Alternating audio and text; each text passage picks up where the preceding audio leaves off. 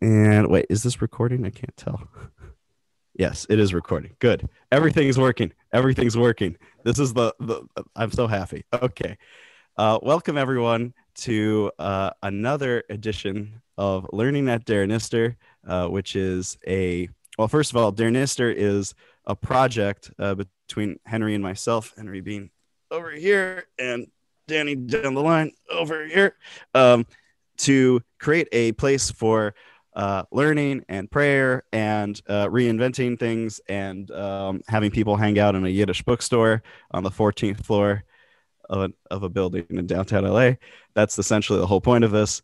Um, and part of that is to bring in uh, voices and and st- and stories and experiences of people um, who really ought to be heard because there are some really incredible people in the world, and Yvonne is hundred percent uh, a, an incredible person. I, have known Yvonne for uh, quite a few years now, I think, since the days, uh, uh, what, five, six years ago, I think, back when I was, uh, was um, trying to uh, sing at the UCLA High Holiday Services. That's where I met uh, Yvonne. Um, and we've connected on, on just talking about how big and amazing both the world is and just the very multifaceted layers of spirituality that are are part of it. Um, Yvonne has since and before I met her and since been um, traveling the world, exploring things that I couldn't even imagine. Um, being uh, courageous enough and open enough to explore myself, and and and she came back, um, as she'll tell you a bit more, with a a really profound and beautiful view of, of the world and what needs to be done to make it a better and more uh, a better place. So Yvonne, uh, I just want to give you a chance to introduce yourself, what you've been up to, and uh, yeah, and and just how, how where you've been, and even. Awesome. Yeah. Thank you so much for having me here, Zach. Um, it's really exciting. And thank you, everyone, for uh, attending. Um, so a bit about me. Um, I grew up in the, the California Bay Area and I've always been really interested in different types of uh, spirituality, but um, it was really in my travels that, that, I got to see different cultures. So just to give um, sort of like a broad stroke of where I've been. Um, well, in college, I studied abroad for one year in Southeast Asia, half a year in Vietnam, half a year in Thailand, and uh, spent a month living in a Buddhist monastery in China. Um, so I got to learn a bit about um, Buddhism there, and um, that really sort of uh, shook up my my worldview growing up as a Westerner living in California. So that was a big experience for me. And then the and then I was working in refugee resettlement and humanitarian work. I graduated um, with my bachelor's in history and um, yeah, I've just really been uh, trying to focus my career on human rights based.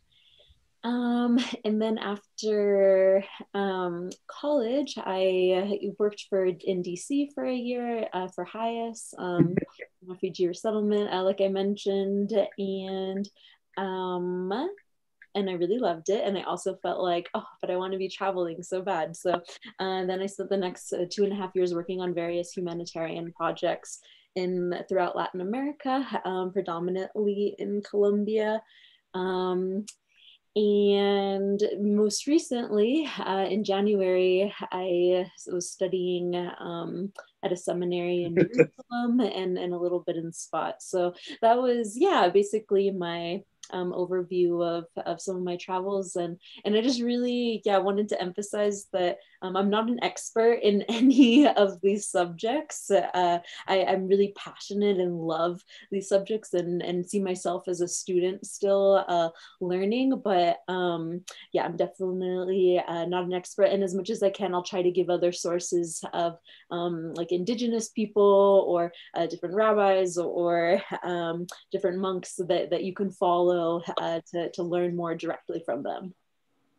Oh, thank you. No, I and you know one thing I want to emphasize is that the the the beauty of what's going of what's going on and, and what your experience is is that it, it might you know you don't have to be the expert in one field to have the unique experience of being in very deeply entrenched in a lot of very disparate ones and i think that's just an incredible incredible thing to share if if just that alone and um and i, I guess the first thing what, uh, what i would like to hear um is you know i think we talked about three really special uh, places that had a religious and spiritual import that it that that came as part of your travels. Um, what what were they? What were they like? How did you get into them? And uh, what did, what was their like spiritual message that you that you that you picked up from them?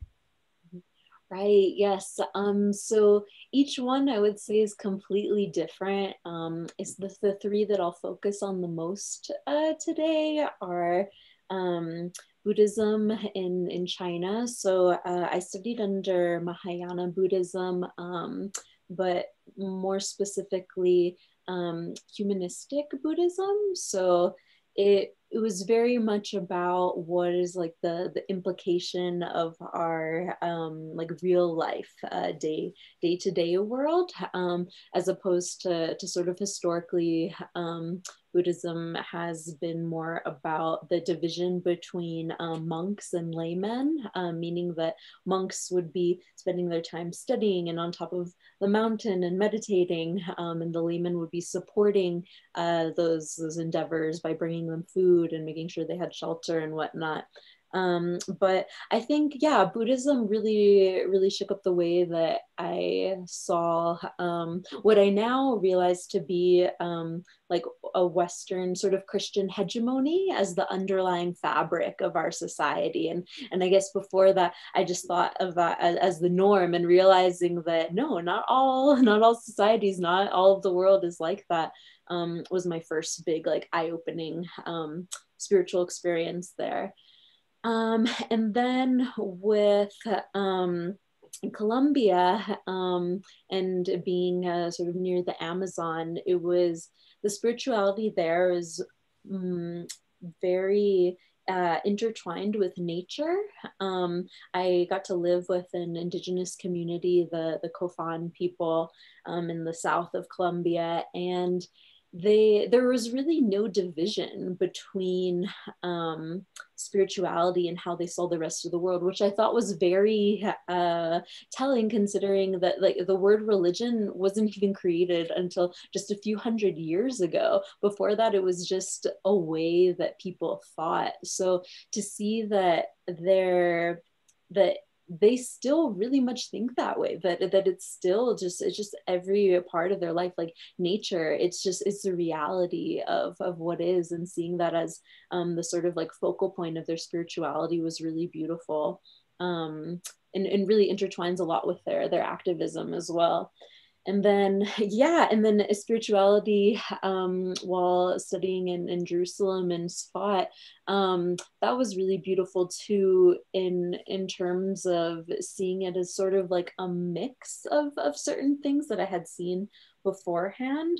Um, so for example um, the the meditation practices that i had learned in china um, we were meditating for several hours every day and then the final week was a week of silence um, where during those seven days it's not just not talking you also can't use electronics um, you can't uh, look other people in the eyes there's no reading no writing no drawing you just have to be truly in your own mind um, and the type of meditation that, that was focused on was very much breath based um, so it was not really doing some sort of like prompts. It was just how how quickly can you clear your mind and get to the place of of pure focus of pure transcendence? Because that's the whole point to transcend this sort of um, human uh, physical world that we're living in um so that that's what i was trained under and that's what that's what i learned under and and eventually got good at after doing eight hours of meditation per day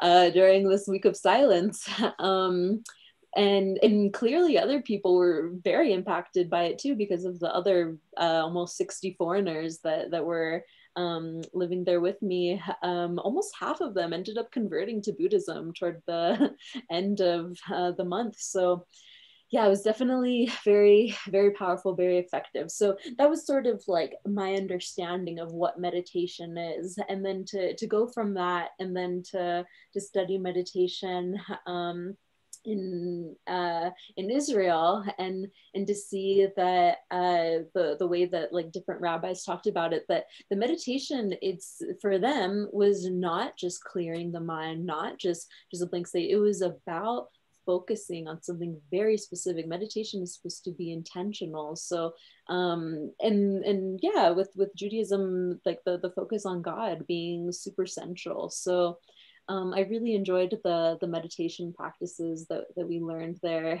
Um, some of the the Jewish meditation was about uh, using like the the name of God um, and the the different letters uh, Yud He Vav He, and getting to just um, really making it part of like our entire essence, our entire being in in that meditation, and whether the intention of it is to like make us a better person or to um, to sort of make the world better. Um, it was, yeah, it, I think there was a lot of mysticism in that sense because it wasn't just about this sort of like one um, soul, neshama that we are. It was this greater entity that we are constantly always tapped into.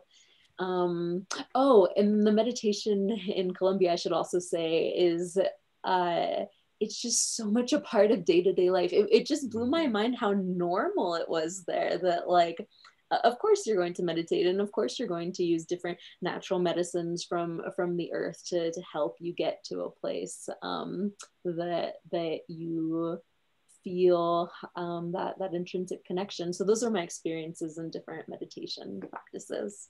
No that's very helpful uh thank and uh, just to uh for everyone on the call my plan or my idea of, of how this works is uh, I'm to give a, a, couple more questions and then the floor will be open to you and just raise your hand through Zoom or just, I don't know, unmute yourself and scream, one of, any, any of those things. And uh, don't scream. That was, that was a joke. That was, that was a joke. Uh, um, you know, and, and, and, uh, and yeah, and ask anything uh, you'd like. But uh, so next questions. I want to go delve a little bit deeper into some of the things you brought up that I think might catch someone's ear. Um, one of which was the idea of Western hegemony and like how it's how like the first experiences you had in China, not only were you doing things that we would consider to be maybe in the West um, unfathomable, like meditating for eight hours, uh, or reaching a transcendence, or, or any of these things. But it was also a big chance for you to to see like that the world isn't necessarily or and shouldn't necessarily be um, dominated by Western thought and Western ways of looking at things. How did how did the each of your ex, how did your experience like teach you about how present Western hegemony is in the world and what what did they tell you about how to live with it, how to fight it, you know, any of those things? Right. Yeah, that's such a great question.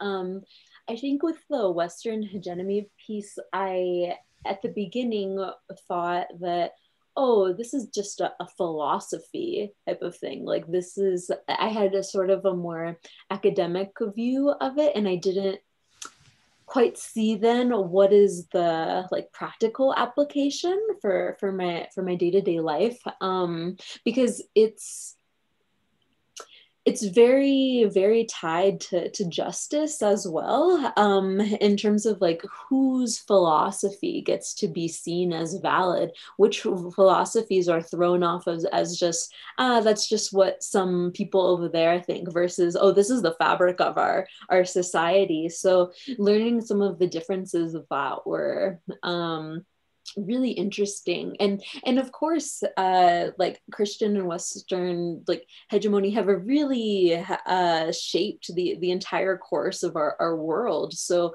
we can't really talk about spirituality and how it has progressed unless we also talk about power and colonization and how those things have changed the the course of um, spiritual practices in, in different communities. But I think one view um, of uh, like sort of like Christian Western uh, hegemony that has really stuck with me is like the notions of time and space. So um, I tried making like a little drawing to to help you all out to um, see, but yeah, okay, I'm not the best artist, but it's okay.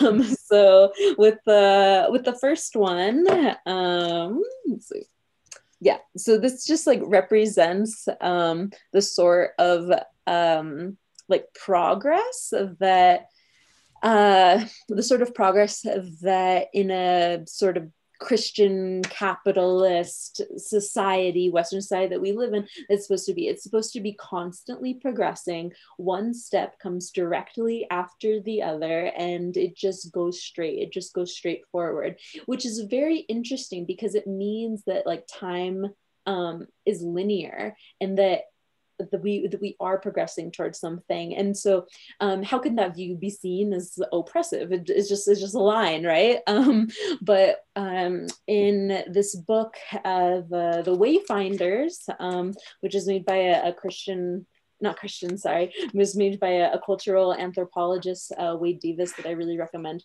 Um, he talks about how um, when the uh, colonizers first arrived to Canada, um, they not only wanted to know about the indigenous people's uh, different practices and how they were able to um, survive there he also sort of inst- they also sort of instilled these ideas of um, what progress should look like for for indigenous folks. So it's interesting because indigenous folks in in those canadian communities they there were some things from the the western colonizers that they were interested in. They were interested in for example learning to to read and write. Um the the, the fact that when they're like oh that's something that like we would also like to have. We have a, a strong oral tradition but that that would be beautiful to to learn um, a skill such as reading and writing. Um, but because of the way that power played out, the way that the colonizers um, essentially ha- yeah were, did have a genocide and uh, raped and pillaged uh, those villages because the foundation was uh, a linear um, view of, like oppressive time that one hmm. step must come after the other. These people aren't civilized yet because they haven't reached the step of reading and writing. And then once they reach that step then they can eventually maybe someday come to the the point of like the white man. So that's yeah a bit of how so it's like the inevitability of progress that cre- that uh, like moralizes oppression. Yes. Yes exactly.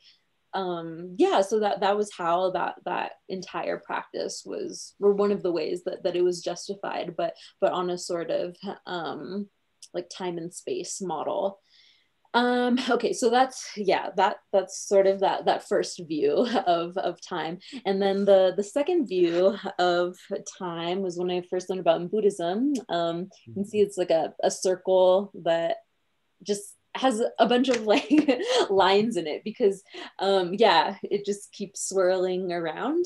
Um and so this is the idea that um in so in buddhism it points out how in our um, modern Western day society, we often think of time as the past, present, and future.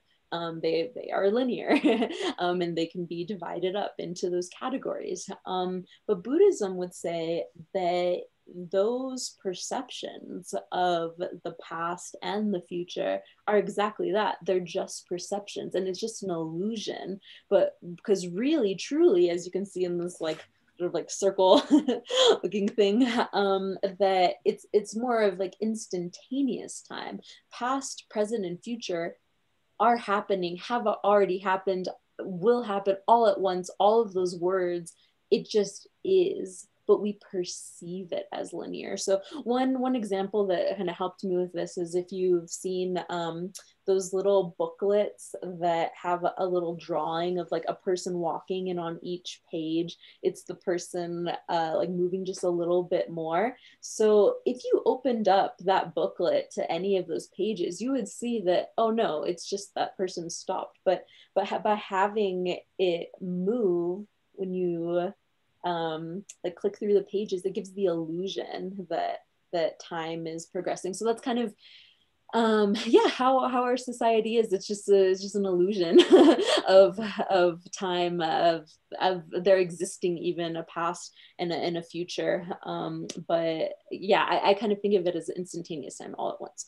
Okay so the first one um capitalist christianity like views of time. Second one um, buddhist instantaneous time. And then the third one um i learned under different um sort of like Kabbalist um, uh, teachers of like what yeah Jewish like Jewish time Jewish mystical time is um, and first off it was super interesting to me because whenever we did this comparison of like the West versus the East um, it seemed to me very much that the, the different Kabbalists they, they see themselves as the sort of like in between of the the west and the east um, that there's pieces of both. So that that that was striking to me first of all. Um, but second of all um, so here's my my drawing for number three. Um, buddhist view i mean sorry jewish views of time. So progressively growing spirals. Exactly. So progressively growing spirals and that it still has um it's still progressing toward something like there is something that we're we're going toward but also there's like repetition in these spirals of things that keep happening over and over again um through throughout time. And so one of the the things that i was taught was how um like mm, so much of like sacredness in Judaism is about time and specifically like energies of time. So, for example, I tried drawing how for in within the spirals, you'll see like some different colors that um like sort of permeate in a, in a line uh, where different points of the spirals meet. So you could think of like one of those, okay, like for, for example, we'll take this pink one. You could think of that as like the season of um, Passover, Pesach, and how um, with Pesach we very much associate that as like the time of freedom, um, the the time for liberation, and like that is like the time of year. I mean, of course, we can fight for that that that uh, 365 days a year but and we should but that that specific time is um very powerful in in in terms of what what it can offer. And so so basically what the teachers were trying to say is that that the liberation of, of Jews in Egypt was able to happen in the specific time of Pesach. Not it wasn't the other way around. It wasn't the liberation. Oh, and then it was in that time. It was because of the time. And then there there was another example about how um, matzah was brought up uh, much much earlier, which at the same time of year. But how could that make sense if like uh, there wasn't even liberation?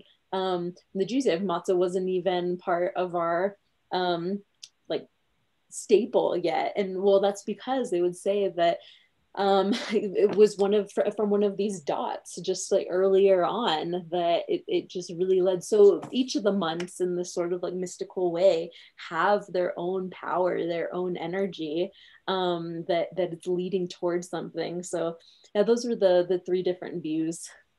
Uh yeah that that thank you for that uh that and i really i really i i enjoyed all the diagrams and the but the multicolor uh lines on the on the jewish mystical progressive spirals that i that i really I, i'm en- i'm enjoyed that especially i have to say. Um you know so i i want to I, I want to go to something you've been hinting at and um and and sort of bring it out. Now that we have like a bit of a, a framework of these different ways of viewing time these and and how it, it relates to the world and a bit on the spiritual practices. I want to go into the question of justice that you brought up. And specifically i, I think the best way to define justice is um, uh, how to fix the world what is considered fixing the world. Um, and why to fix the world. And and the reason I, I call this this thing, uh, spiritually rooted justice is because in my conversations with you before, I realized you can make a distinction between justice that's done for moral reasons, that like feels like the right thing to do, and justices that are rooted in something that's not Western, which is like an entire worldview that suggests that this is what's right on a spiritual or metaphysical level and we're trying to achieve that state of being in this world. So could you like elaborate like how does justice happen in these traditions and why does it happen? Yeah excellent. Um so for I'll start with the, the shamanic communities um, in, in Colombia. I think their views on justice are are so much intertwined with um, this this um, this entity uh, which they call Pachamama, um, who is a sort of uh, like cultivator of, of all that is, um, and that uh, it's the earth that is who we are, our inherent connection as humans to to nature. So nature for them um, is everything. It's it's spirituality, it's justice, it's it's part of who they are. So when I was um, living with that community, it, w- it was really beautiful. Um, they were working on a, a documentary called um, the um, the shaman, the the the last warrior, um, which y'all can uh, check out if you want to support Indigenous directors. Um, and so when they were making this um, movie, it was a very much about um, their their spiritual convictions of why they must fight to protect nature, to protect um, everything that's sacred. So they were fighting against deforestation, specifically from the, the multinational companies um, that were invading their territory. And um, throughout the documentary, you just see uh, so many instances in which there's no distinction for them between like the physical and the, the spiritual world. And that distinction it doesn't even make sense to to create a sort of duality like that. So um yeah their views on on justice is just just because it's just obvious to them. It's like of course we should like fight for our literal homes uh um, amongst the trees. Like we can't even live without having uh like nature that provides for us like in, in any other viewpoint anything else it just doesn't even make sense because it's like you're not even you're not harming just this sort of and i think this would be the western view. The westerner would say oh but there's a difference between harming people and harming nature. And they would say what difference? Like one they, they are inextricably intertwined. So that it was really beautiful for me their their views on on justice and how um, their spirituality is such a driving force for that. Um, so yeah okay so that was in colombia and then i think justice for in in buddhism is quite interesting too because um i mean buddhism originated uh, sort of as a response um in like to from Hinduism, and Hinduism having the caste system of um, there being several different castes, and you're you're born into one, and depending on which one you're born into, that has a strong say in what you uh, are able to do with other aspects of your life. Um, whether you can be a teacher, whether you can be a priest, or um, whether you should be a street sweeper. Like each of those things are are decided from birth, but based on which caste that you're born into. And also, it would say that it's only the higher castes that are able to reach enlightenment um, with meditation. So um, Buddhism was born literally as a, a, sort of response of this of no, we don't think that um, only the the Brahmins or the the higher class are are able to, to reach enlightenment. Anyone can reach enlightenment. It doesn't matter what how what circumstances that they're born into. Um, so that yeah response against duality and it's the same thing with confucianism in in china um like duality is so important to to confucianism and but in buddhism it's absolutely not. It's something that um we we need to be able to to transcend and and have a better view of. Um so that yeah that's interesting too because it impacted um how buddhism has progressed. Uh it it used to be more so about like i mentioned before this um, binary of the the monks and, and the lay people but um, having the experiences of um, the the monks i think the the monks sorry the monks being affected by the the outside world um, it in turn also affected them. So um, in Pure Land Buddhism, um, it says that uh, the, the purpose of life is to um, transcend this life with, with meditation and to um, be able to not have to be reincarnated anymore to to end the cycle of suffering but how does that happen that each individual through meditation will um, be able to transcend and to not uh, be born in this world anymore. Pain and suffering. They talk about a pure land, a place where um, the birds are uh, chanting uh, beautiful hymns, and the uh, the sun is always shining, and it's just um, this sort of like a paradise type of place. Um, and for hundreds of years, that, that's what Buddhism has been, sort of striving for that. Um, but due to different um, varying outsider influences and also um, talk within the community, um, a lot of Buddhists started saying, but what's the point of always trying to reach that other pure land? What about bringing the pure land to earth? to, to where we are. And that's sort of the, the foundation of um, activism in Buddhism of trying to, to bring that, that sense of paradise here. Um, and yeah, that's only existed for, for a few hundred years. So that, that's pretty special and has, yeah, shaped a lot of um, Buddhist activism. Um, and then let's see, so that's justice in Buddhism. And then in Judaism, I mean, anyone that's ever interacted with Judaism will, will say that justice is a focal point of Judaism. Um, and even Jewish folks who don't have any other uh, real like ties or connections to the community, I hear over and over again that justice is the concept that keeps bringing them back um, in this sort of collective narrative of um, us being folks, the, the tribe that fights for that. So um, even just on a cultural level, I think it's pretty pretty intrinsic to to Judaism. Um, but then on a different level, it's it's it is inherently intertied with spirituality because um, one of the things that I, I kept learning in, in Jerusalem over and over again is that Judaism and ironically this is very similar to buddhism. Judaism is not about a distinction of duality. It's not about this duality of the physical world and the and the spiritual world.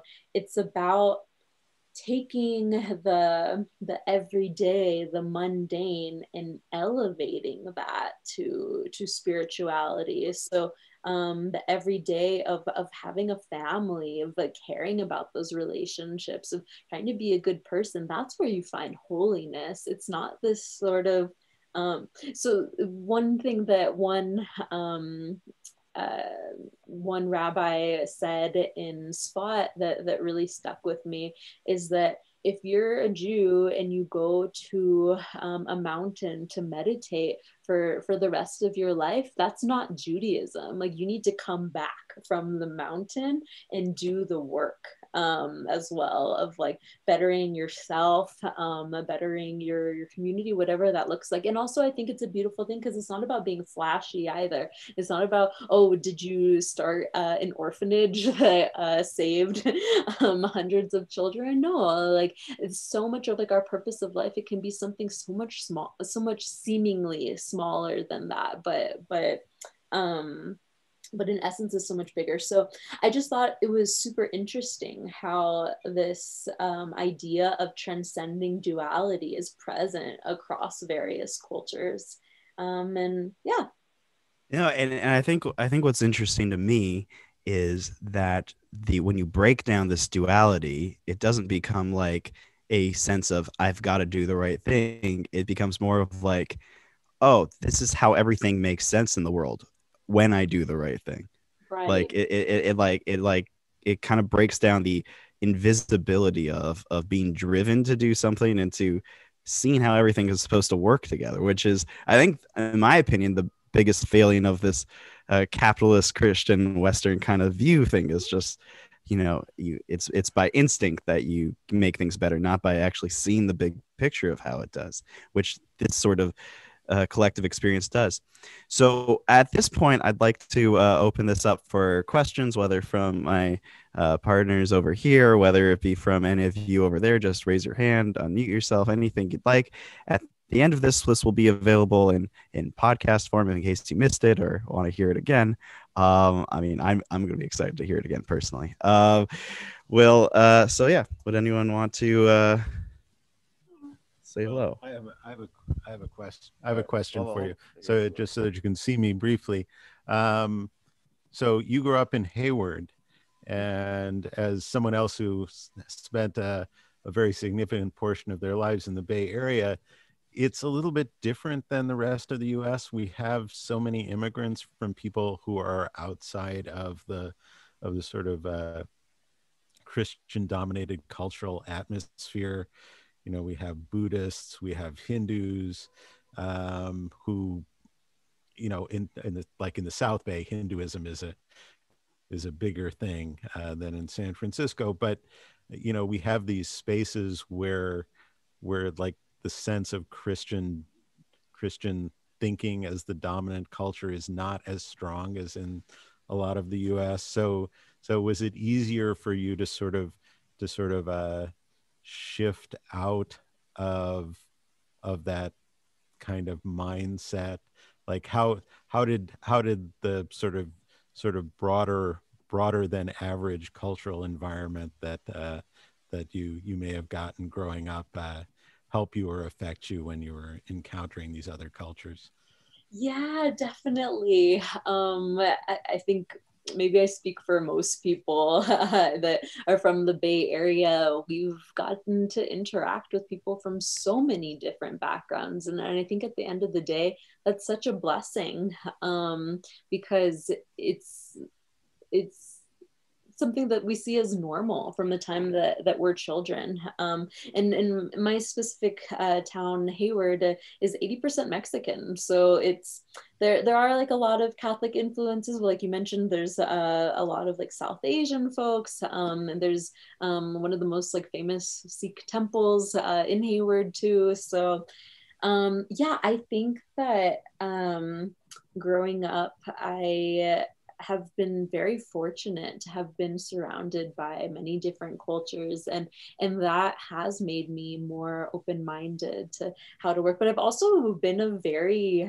um, sort of like strong-willed i guess kind of person. Um, like when i was younger i I really thought that like this worldview of morality, of morality as black and white, I thought it was the right thing, which is kind of scary looking back. Like I really believed that. Um, and so I think that's why I, I hold such a place in my heart for Buddhism of, of like really showing me that you know, it, it doesn't necessarily have to have to be that way um but yeah i mean if you if you like take a tour around my house we have stuff from all different cultures um and all different religions and uh, ultimately like they're all pointing toward the same thing. So yeah I, I, would say i'm super grateful for my for my upbringing to to give me that sense of uh, open-mindedness when i know that like um yeah i can be like a bit hard-headed about something sometimes but uh getting to see um getting to see it with my own eyes of different cultures across the world and like how that and the different lifestyles that that was what was most like striking to me so yeah. Uh, anybody else uh, would like to say something? Uh, this is this is Rebecca Van Landingham, and and I have a question. Hi, hi Henry, hi Zach. Um, so and and and everyone else. Um, so I have a question not only for Yvonne but also for Zach and Henry, and this um, this question is how in Judaism, what are some of the ways we can talk about time? And my sense of Jewish concepts of time are that time is something that is both important and very difficult, if not impossible, to understand truly and completely. Um, and if that if that understanding is something that's shared by other other people, how do we enter dialogues about time and how do we speak about time or what are some of the ways we might speak about time to to bring in some some of that sense of the complexity and the difficulty of understanding or the challenges of understanding. Thank you. Thank you. Thank you for the question. Uh yvonne do you want to take a crack at it uh, do you guys want to go first? uh, I'll, I'll, yeah. Andrew, do you want? All right. What else? hear what the rabbi says before this. Okay, well, we'll see what I can do about that. Um, you know, um, one of the most. It, this is actually very much related to something Yvonne said earlier, which is these these parallel lines of time. But these parallel lines of time about, let's say, Pesach time, or where it's like the where freedom is more manifest in in time than other times. Or um or the, or there might be other other times like the high holiday era era which where our prayers are more heard or we can repent more. These uh, these concepts um, of like there are specific moments in time that have a certain meaning a certain significance that repeat over and over and over for the sake of progress this is something that we can learn to absorb into our lives through experience. And this is what I mean by that. I have a friend who told me um, every parsha, every every section of the Torah that was read that week, he saw it happen in the world. So if if it was Genesis, he saw Genesis in the world. If it was Leviticus, or we were building the the Mishkan, we were building the tabernacles or the temple or something, he saw that in the world. Um, if it was Passover, he saw that in the world. Um, you know, a lot of people look to this kind of thing in astrology. They say, well, when if this is this month or that month, um, or with this astrological sign being dominant or that one being dominant, they see that in the world. And it normally, I think that we have a lack of comfort with the idea of like of like forces big forces in the world that make things more likely to happen or less likely to happen.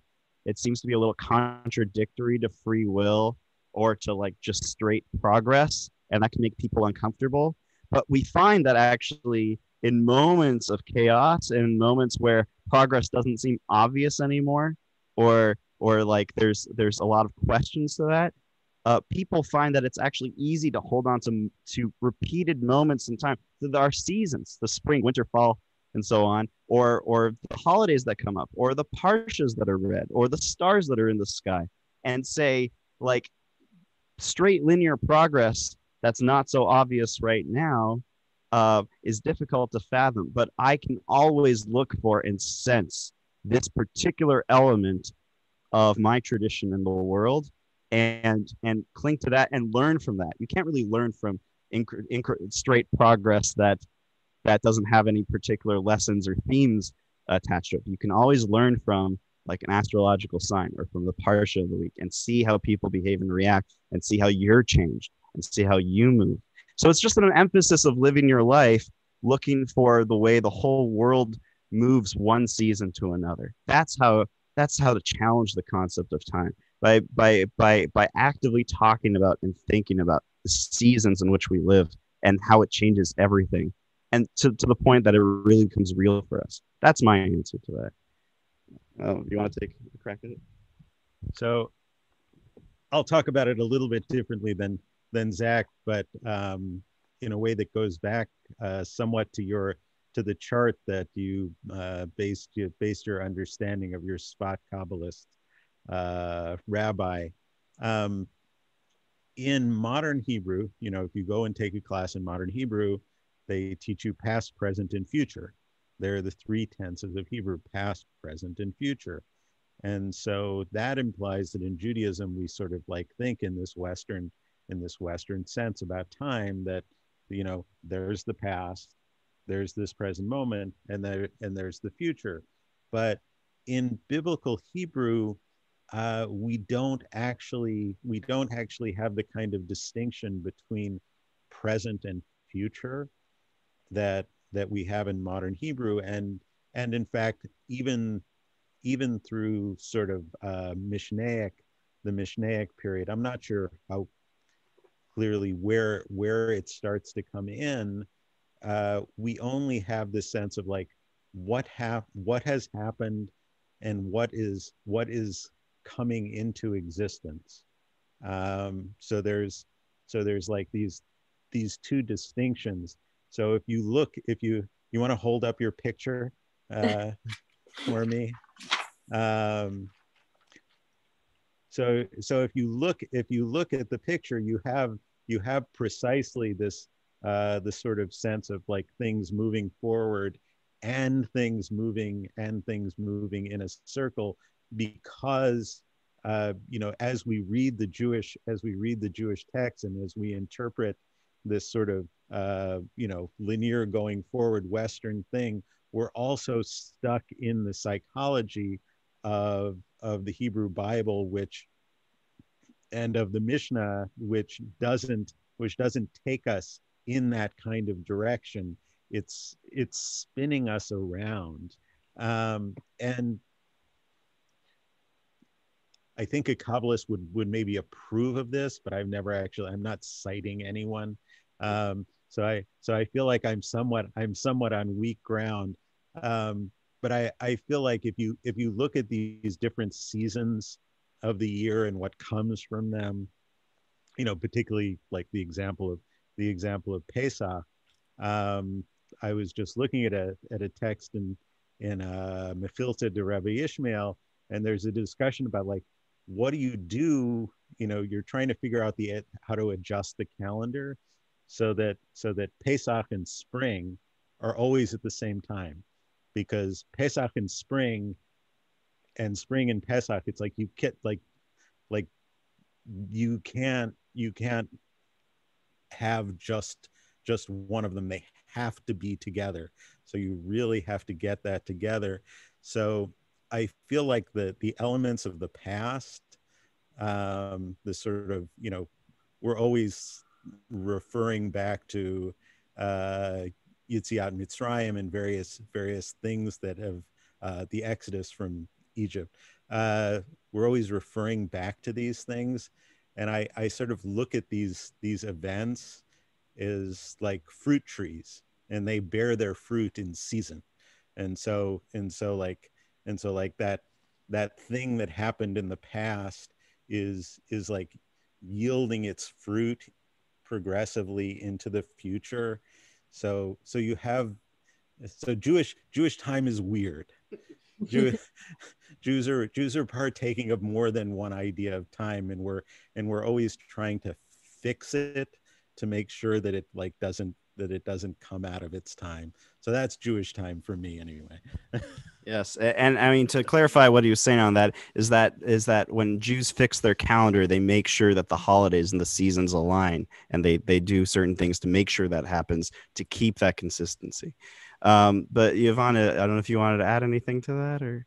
Yeah, um, it's a really good question, uh, Rebecca. I think that one of the the pieces that I keep going back to is, um, well, when you're saying like, how can we have conversations about this? Because that's something I'm also really interested in, and how to have a dialogue, especially with people from different backgrounds, um, on on talking about something that I think for a lot of people this would be such a strange concept and stuff to to talk about. So I think first off like naming the strangeness, the weirdness of, um, and bringing a, a sort of comparative lens. Like, hey, did you know that like these other cultures think this way? That actually our own culture, uh, like thinks this way, and bringing a name to it, I think is super underrated and also really important to just know that, um, like yeah, there's a sort of craziness and we have to put a name to it.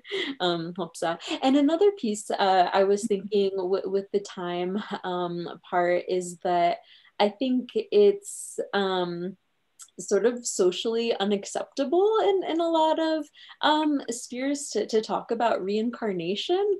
Um, but when I was uh, studying in, in Sfat in Jerusalem, that was something that came up so many times. Uh, this is sort of, and like that's the ultimate break of linear time right there because it's um it, it just brings like so much purpose of of different kinds of times what is this time right now here for and um and thinking about how even reincarnation isn't even linear uh so I think, yeah, Judaism, I, I, definitely still have a lot more to learn on it, but I think it has like so much depth to, to offer on those subjects. Oh, no, I, I think that's right. Sorry, sorry, go ahead, Rebecca. I was just going to say thank you so much, and I had a follow up thought slash question. So we've talked about the the growing spirals and and and the picture that uh, Yvonne so, so nicely drew, and it also seems to me that a lot of Jewish descriptions seem to have this idea that time is something you can kind of travel around in, maybe, where you might have you know, Moses in the back of the study hall uh, in Talmudic times, or you have um, the concept of Shabbat as being an island or a palace in time. Um, and I was wondering if you might address about how we might bring that into our uh, descriptions of the, um, I call it the strangers or the uh, complexity of of how how we see and attempt to describe time and, and why it's important to us. Uh, fine, go ahead if you'd like. Uh, or then, then, then I will let other people ask questions. You're just trying to make it easy for us, right? I mean, um, I'll I'll I'll just uh, to answer that off off the bat. Um, every every conception of time is is very difficult intellectually, but it's much easier to live it's much easier it's much easier to understand these things when you live them. And that's why i thought it was very important to bring yvonne here because not only is she uh, she has thought these things through but she's also lived them. So she went from going to translate experience of of this time into a graph and and a set of explanations that people taught her and then she's teaching us about about how to do that. So uh, i think that i think that um, uh, this is the the window to understanding these things is is fortunately right present in front of us. Um, that's that's my that's my take on that. Uh, well, Yvonne, what what did you Yvonne? What did you actually? Uh, I mean, did you get specific teachings uh, from from the studies that you were that you were doing when you were in Israel, in Jerusalem and Sfat? Uh, re- relating to time. Yeah. Mm-hmm. Yes, um, and that's where my whole chart idea came from. Actually, because I was explaining to um, someone in, in this community, um, my, my Havruta, I was explaining to them the the sort of ideas of time um, and spaces they related to um, to Buddhism. And then they were like, oh, that's so interesting. In Judaism, it's more like this. And then I was thinking about how, um, through my experiences just yeah how i view um, western capitalism and, and how that time looks like too but honestly i think my um my biggest um like influencer of, of how I, I view time is through meditation. It, it's been like one of the most, if not the most powerful tool uh, to sort of have that visceral experience of, of what does it feel like of uh, being able to, to transcend time for, for however long it was. Um, so yeah i don't know so much about the the philosophical aspect but for my like literal lived experiences yeah i, I like feel it very very deeply um.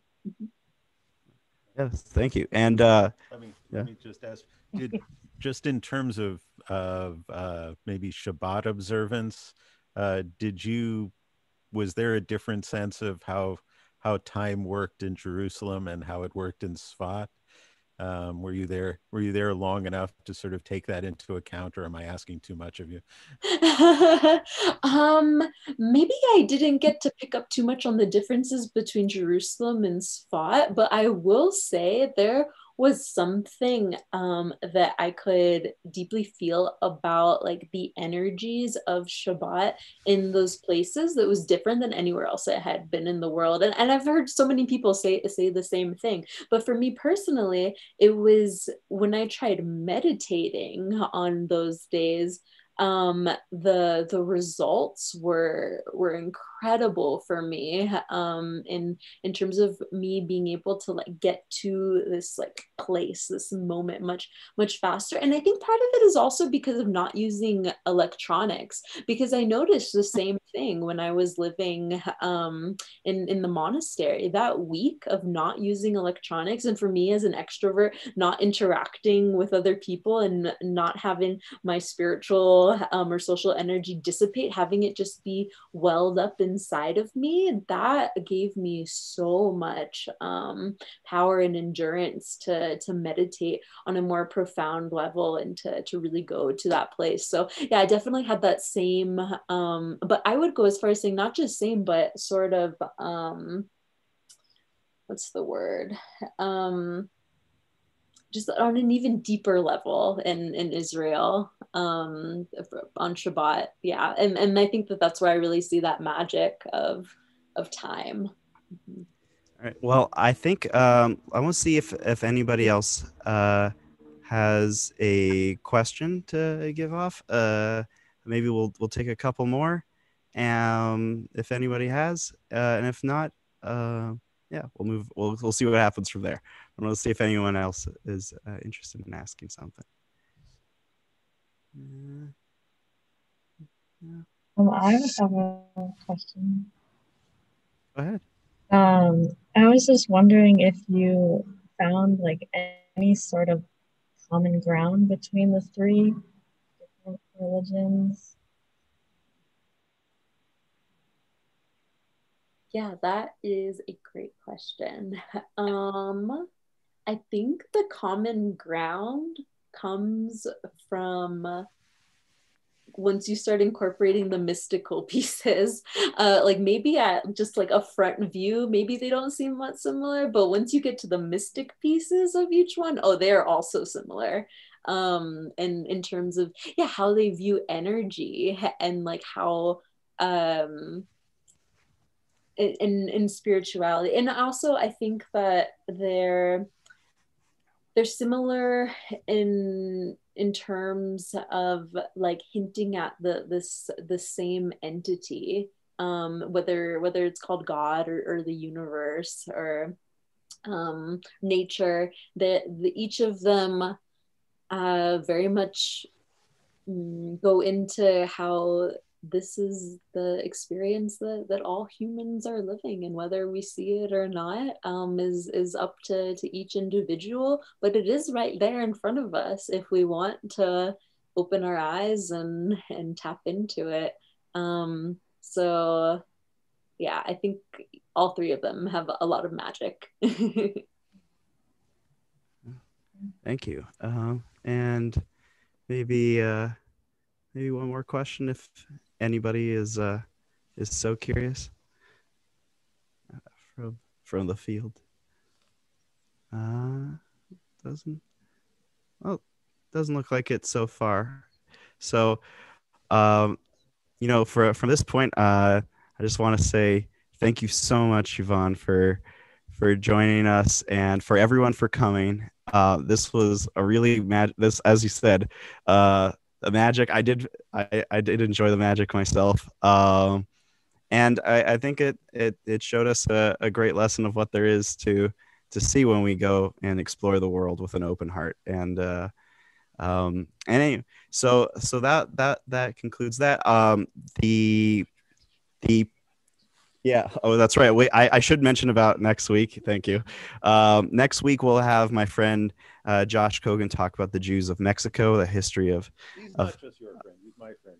uh, our friend our friend josh kogan yeah that's right um, and um, yeah he'll be talking about the history of the jews of mexico but for now um, this this uh, episode will be available uh, as a podcast soon enough um, and yeah and uh, thank you for, all for coming